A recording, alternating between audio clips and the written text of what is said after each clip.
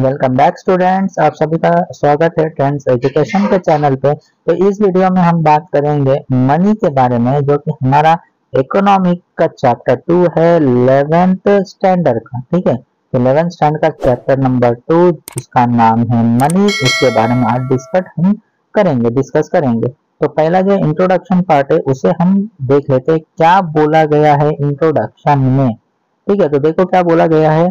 कि man is an intellectual animal intellectual का मतलब इंटेलिजेंट ठीक है? बहुत कुछ सोचने वाला आइडिया लगाने वाला अलग अलग तरीकों से दिमाग लगाने वाले को हम इंटेलेक्चुअल कहते हैं, ठीक है?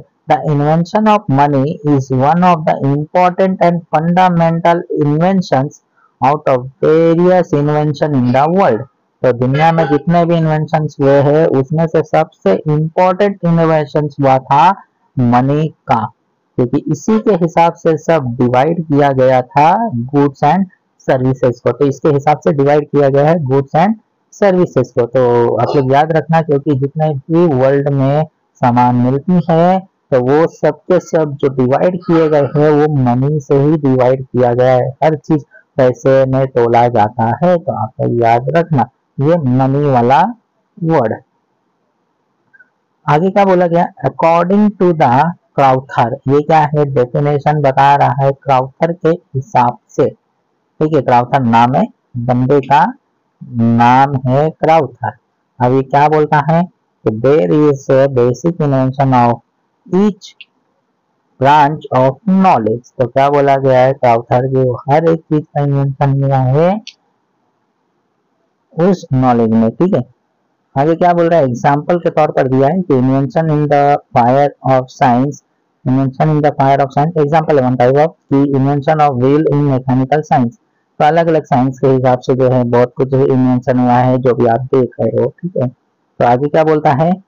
The concept of money is an important concept which has brought about a revolutionary change in the economic life of human being मतलब हर इंसान के लाइफ में जो कंसेप्ट है इकोनॉमी का इकोनॉमिक जो बहुत ही ज़्यादा चेंजेस लेकर आ गया। रिवॉल्यूशनरी चेंज लेकर आ गया। रिवॉल्यूशनरी का मतलब बहुत ही बड़ा और बहुत ही, समझ सकते हो, बहुत डेंजरस चेंज ठीक है तो इसी के वजह से क्या हुआ? पूरा का पूरा समय ही बदल गया। अब जो समय बदल रहा है, उसी को बोला गया रिवॉल्यूशनरी चेंज जिसके वजह से पूरा समय बदल गया। जैसे इंटरनेट इंटरनेट की वजह से पूरी दुनिया बदल गई, पूरी बिज़नेस बदल गया।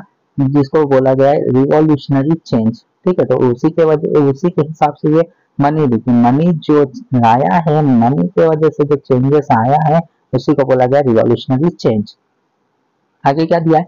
Various goods and services are bought and sold with the help of money to satisfy human wants तो क्या बोला गया है कि हर इंसान की जरूरतें को पूरा करने के लिए कहीं खरीदा जाता है, कहीं बेचा जाता है वो सारे गुड्स एंड सर्विसेज़ जो कि ह्यूमन वांट्स को पूरा करता है।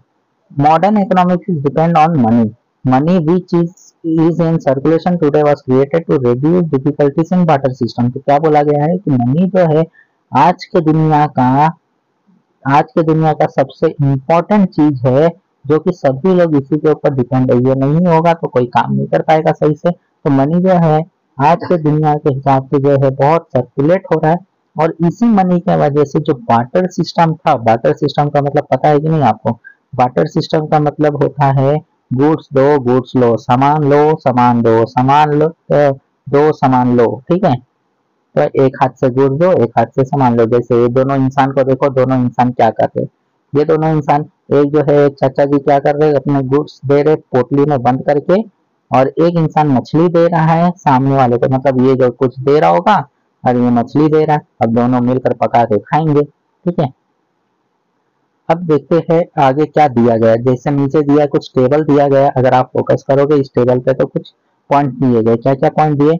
डिफिकल्टीज इन वाटर सिस्टम में क्या क्या दिया है? पहला क्या क्या डिफिकल्टीज था वाटर सिस्टम में? ठीक है? आगे पढ़ेंगे इसके बारे में भी क्या क्या डिफिकल्टीज है वाटर सिस्टम में। जैसे देखो, यहाँ पे सिंपल दिया है डिफिकल्टीज इन वाटर सिस्टम तो वन बाय वन इधर पहले बता देते देन आफ्टर पर चलेंगे।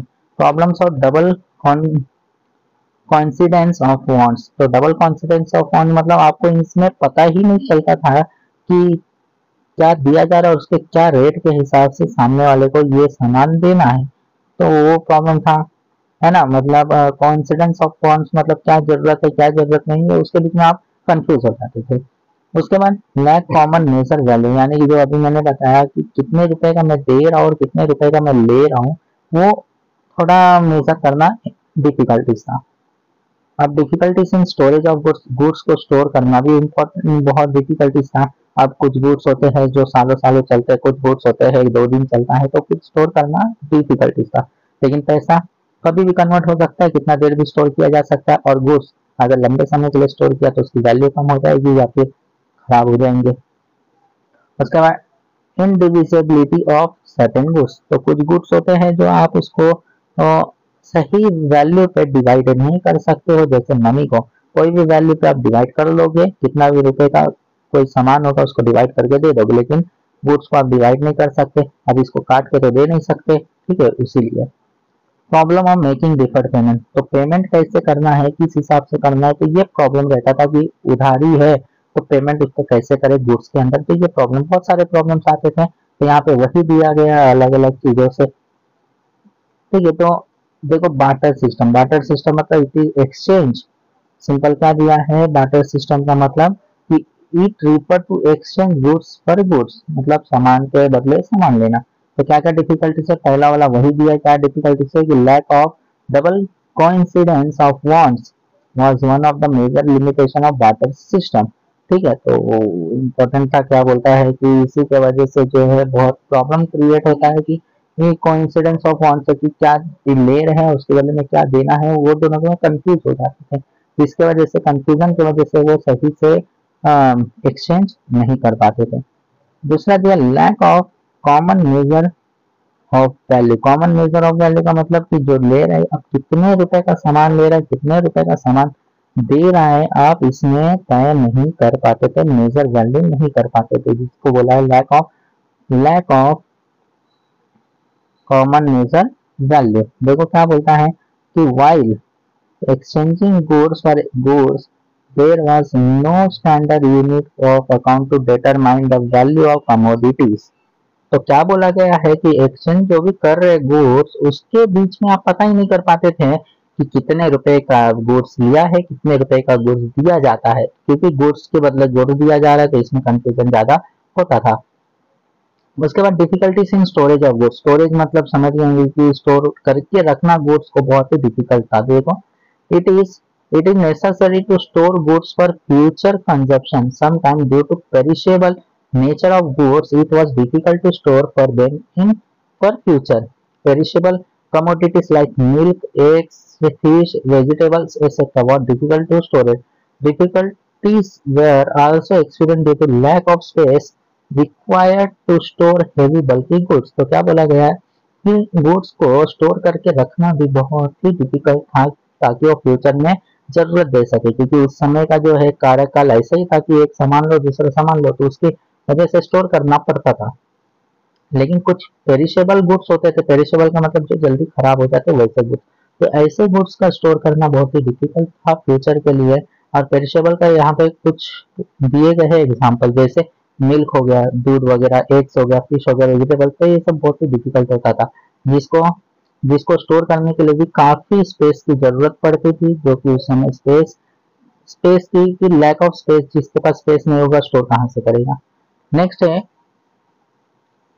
indivisible indivisible of certain goods कुछ गुड्स को आप डिवाइड नहीं कर सकते हो, उसके बारे में बोला जैसे in barter system there was inconvenient to divide animal house etcetera into small parts so it was difficult to fix proportion proportion of one commodity in exchange for another commodity. ठीक है तो इसको जो है डिवाइड करना बहुत ही difficult था, एक कमोडिटी को दूसरे कमोडिटी में। ठीक है तो इसके लिए इसके लिए इसको बोला गया कि ये बहुत ही डिफ़िकल्ट था ताकि आ, किसी गुड्स का अनुमान लगाया जा सके वैल्यू में अगला जो दिया गया problem of problem of making deferred payment कोई पेमेंट करना है इन फ्यूचर या फिर ऑन द स्पॉट या इन फ्यूचर में कभी भी तो या फिर कुछ लिया है उसके बदले में पेमेंट करना तो बहुत ही प्रॉब्लमेटिक था। सही से पेमेंट नहीं किया जा पाता था क्योंकि वहाँ पे जो वैल्यू था वैल्यू का अंदाज़ा नहीं लगाया पाता लगा जा नहीं लगा पाया जाता था। देखो defer payment mean payment to be made in future ठीक है डिफर पेमेंट का मतलब जो भी पैसा फ्यूचर में आप दे रहे हो, उसे डिफर पेमेंट कहते the repayment of loan was difficult due to exchange in commodities. तो कमोडिटीज को जो एक्सचेंज किया, उसके बदले में कितना देना है, उसका आप अंदाज़ा नहीं लगा पाते थे, जिसको बोला गया है डिफर्ड पेमेंट तो एग्जांपल दिया है it was difficult to repay the perishable goods in some condition in future तो इसी को बोला गया है कि एग्जांपल दिया गया है तो कुछ पेरिशेबल गुड्स है, उसका जो है फ्यूचर में कितना पेमेंट करना वो आप अंदाज़ा नहीं लगा पाते। तो उसी को बोला गया है टोटल आपका जो है कुछ वाटर सिस्टम में डिफिकल्टी से और ये एग्ज़ाम के पॉइंट्स ऑफ़ व्यू से आप लोग याद रखिएगा, ये क्या है? आई है इंपॉर्टेंट है। आप लोग याद रखना, ये आई है आई पी आई है, ठीक है?